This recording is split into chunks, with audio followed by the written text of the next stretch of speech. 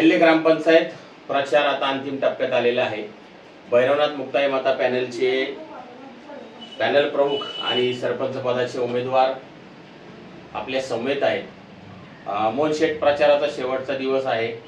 कसा प्रचार चाललेला आहे? सर अतिशय चांगला प्रतिसाद आहे. सर्वसामान्य जनतेमध्ये एक उत्साहाचं वातावरण आहे. खऱ्या अर्थानं भैरवनाथ मुक्ताई माता पॅनलच्या पाठीमागं सर्व लोकांची साथ आहे. एक सुप्त लाट आहे. आणि लोकांना परिवर्तन हवं आहे. या ठिकाणी घराणेशाहीला बाजूला ठेवून खरं तर सर्वसामान्याला या ठिकाणी संधी मिळणार आहे. तुमचं काय विजन आहे आता ग्रामपंचायतसाठी? सर सर्वात पहिलं मला तर हे सांगावं लागेल की गावच्या ज्या मूलभूत गरजा आहे खऱ्या अर्थानं कचरा असन पाणी असन वीज असन रस्ते असन याच्यामध्येच गाव गावाचा अजून आत्तापर्यंत काही विकास झालेला नाही परंतु खऱ्या अर्थानं तो विकास करायचा असेल तर आमच्यासारख्या लोकांची त्या ठिकाणी गरज आहे. त्याचं कारण देखील तसं आहे का प्रत्येक व्यक्तीच्या मागं कोणीतरी एखादा नेता असावा. तर मी या ठिकाणी ठामपणे सांगतो की माझ्याताई आशा माझ्या पाठीमागं आशाताई बुचके ह्या खंबीरपणे उभ्या आहे. त्या ठिकाणी माझी सुवेद्य पत्नी वैशाली मोहन मटाले जर या बेल्लेगावच्या सरपंच झाल्या तर खऱ्या अर्थानं बेल्लेगावामध्ये विकासाची गंगा वाहिली जाईल. आणि अनेक प्रश्न त्या ठिकाणी मार्गी लावण्याचं काम के करण्यात येईल. त्या ठिकाणी कचऱ्याचे प्रश्न तर इतका प्रामुख्याने गंभीर आहे. रोगराईचे साथीचे आजाराचे या ठिकाणी प्रमाण वाढत असताना खऱ्या अर्थानं घंटागाडी असन त्याचं कचरा विघटन असन अशा अनेक गोष्टींवरती त्या ठिकाणी काम करणार आहोत. आणि हे आज आम्ही बोलत नाही तर भविष्यामध्ये येणाऱ्या काळामध्ये खऱ्या अर्थानं ज्या पाच वर्षाचा आम्हाला काळ भेटणार आहे त्या काळामध्ये या गावचा कसा विकास करतो झपाट्याने ते पाहा तुम्ही. सर आता तुम्ही पाहत असाल की बाबाभाऊ पाटीलसारखं व्यक्तिमत्व आशाताईंच्या मार्गदर्शनाखाली नारंगावचं सरपंच झालं. आणि नारंगावचं सरपंच झाल्यानंतर खऱ्या अर्थानं नारंगावमध्ये किती झपाट्याने विकास झाला रस्त्यांची सुधारणा झाली पाण्याच्या उपयोजना त्या ठिकाणी राबवण्यात आल्या कचऱ्याची देखील विल्हेवाट लावण्यात आली. त्याचप्रमाणे शेजारचं वारुळवाडी गाव. त्या ठिकाणी आशाताईंचेच कार्यकर्ते राजू शेटमेर हे देखील त्या गावचे सरपंच झाले आणि इतका अतिशय झपाट्याने विकास त्या ठिकाणी करताना आपण पाहतोय.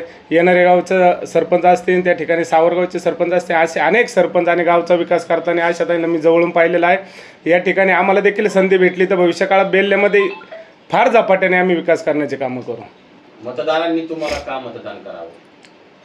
सर प्रामुख्याने मला या ठिकाणी आवर्जून सांगावंसं वाटतं की खऱ्या अर्थानं आम्ही सर्वसामान्य कुटुंबातले लोक आहोत. या ठिकाणी फक्त समाजसेवेचा वारसा आम्हाला आहे जो आमच्या वडिलांकडून आम्हाला मिळालेला आहे आणि समाजासाठी आपण काहीतरी देणे लागतो. या माध्यमातून खऱ्या अर्थानं अनेक वर्षापासून या बेल्लेगावामध्ये समाजाची सेवा करण्याचं काम मी त्या ठिकाणी करत आहे. खरं तर आम्हाला कुठलाही राजकीय वारसा नाही. माझ्या आजोबांनी वडिलांनी कुठली पंचायत समिती झेडपी ग्रामपंचायत कुठली इलेक्शन लढवलेली नाही. आणि त्यामुळे एक सर्वसामान्य कुटुंबातला कार्यकर्ता एक तळमळीने खऱ्या अर्थानं तळागाळातली माहिती घेऊन समाजाच्या शेवटच्या घटकाला न्याय देण्याचं काम करण्यासाठी खरं तर आम्हाला त्या ठिकाणी जायचं मतदारांना काय आवाहन करावं मतदार सुज्ञ मतदार राजांना या ठिकाणी तुमच्या माध्यमातून मी आव्हान करतो की यावेळेस प्रामाणिकपणे काम करण्याची संधी आम्हाला द्या.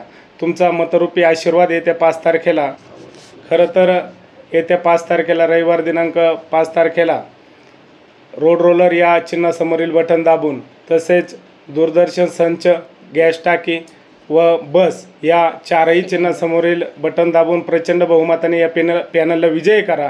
आणि खऱ्या अर्थानं मी प्रामाणिकपणे या ठिकाणी सांगतो की आमचा कान धरून कामं करून या गावामध्ये घ्या. मी मतदार राजाला विनंती करतो की कान धरायचा का समोरच्यांची परिस्थिती तुम्हाला माहिती आहे परंतु कान धरण्याची संधी मोहन मटालेकडे नक्कीच आहे. माझा कान धरून या गावचे कामं करून घ्या. एवढंच या निमित्तानं सांगतो. तर होते मोहन शेठ मटाले त्यांनी त्यांच्या ग्रामपंचायतचं विजन सांगितलेलं आहे. पाच तारखेला मतदान आहे. मतदार राजा कुणाच्या गळ्यामध्ये विजयाची माळ घालतो हे आपल्याला पाहावं लागेल. तोपर्यंत तुम्ही पाहत राहा. बातमी सत्याचा शोध घेणारी शिवनेरी संवाद. धन्यवाद. धन्यवाद. धन्यवाद सर.